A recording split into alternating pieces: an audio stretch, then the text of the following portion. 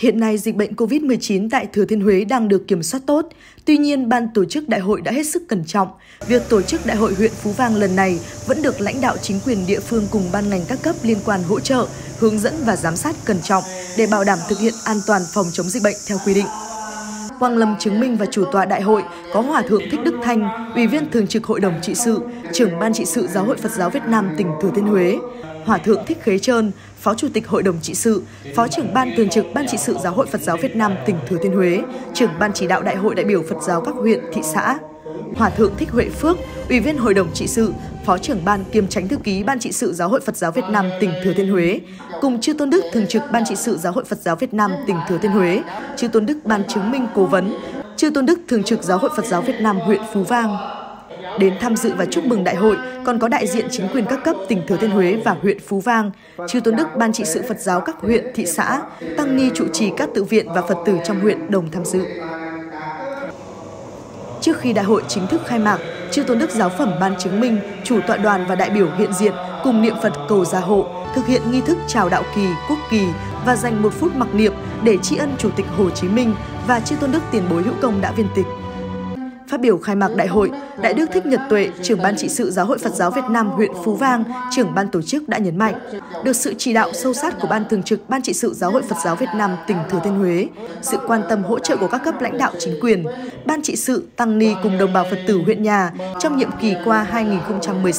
2016-2021 đã không ngừng phấn đấu, làm tròn trách nhiệm mà giáo hội tỉnh đã tin tưởng giao phó, hoàn thành công tác Phật sự, góp phần xây dựng và phát triển ngôi nhà chung của Phật giáo ngày càng vững mạnh trên tinh thần vô ngã vị tha, phụng sự chúng sinh, trang nghiêm giáo hội. Theo báo cáo tổng kết công tác Phật sự nhiệm kỳ 2016-2021, hiện nay trên địa bàn huyện Phú Vang có 30 cơ sở tự viện có tăng ni thường trú hướng dẫn tu tập và sinh hoạt Phật sự, với tổng số tăng ni đang thường trú và tạm trú là hơn 120 vị. Huyện Phú Vang với gần 200.000 dân có tỷ lệ tín đồ Phật giáo rất cao nên công tác hướng dẫn Phật tử sinh hoạt tu học rất được Ban trị sự Giáo hội Phật giáo Việt Nam huyện chú trọng. Toàn huyện có 69 niệm Phật đường, cư sĩ Phật tử sinh hoạt trong 40 đạo tràng bắt quan trai và đạo tràng niệm Phật, 5 đạo tràng Pháp Hoa, 5 khóa tu một ngày an lạc, 3 đạo tràng liên khuôn, Tại đại hội, để ghi nhận những đóng góp tích cực đối với xã hội và Phật giáo, Thường trực Ban trị sự Phật giáo tỉnh Thừa Thiên Huế đã công bố quyết định trao bằng tuyên dương công đức và bằng khen. Đồng thời, Ủy ban Nhân dân huyện Phú Vang cũng đã trao tặng bằng khen cho tập thể Ban trị sự và tăng ni tiêu biểu Phật giáo huyện Phú Vang. Kết thúc một nhiệm kỳ, hoàn thành các công tác Phật sự được giao phó và đạt nhiều thành tựu tốt đẹp, Chư Tôn Đức thành viên Ban trị sự Phật giáo huyện Phú Vang nhiệm kỳ 2016-2021 dưới sự lãnh đạo của Đại Đức Thích Nhật Tuệ đã tuyên bố mãn nhiệm Tiếp đó, Tiểu ban nhân sự trình danh sách dự kiến nhân sự nhiệm kỳ 2021-2026. Chủ tọa đoàn cung thỉnh Hòa thượng Thích Khế Trơn lấy ý kiến biểu quyết và được đại hội nhất trí thông qua. Theo đó, tân ban trị sự Phật giáo huyện Phú Vang nhiệm kỳ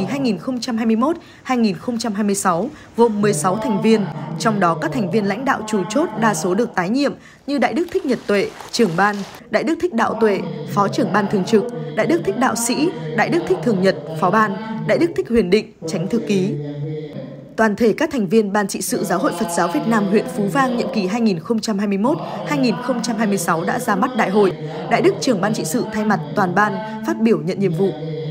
Chỉ đạo và định hướng cho kế hoạch Phật sự trong tương lai của Ban trị sự Phật giáo huyện Phú Vang, Hòa thượng Thích Đức Thanh đã có lời tán thán đến toàn thể chư tôn đức tăng ni cùng quý Phật tử Giáo hội Phật giáo Việt Nam huyện Phú Vang luôn phát huy tinh thần đoàn kết, hòa hợp, nỗ lực hết mình thực hiện tốt các công tác Phật sự do Giáo hội tỉnh nhà giao phó. Mong rằng trong nhiệm kỳ mới 2021-2026, Phật giáo huyện sẽ tiếp tục phấn đấu để tiếp tục triển khai tốt những hoạt động Phật sự đã đề ra.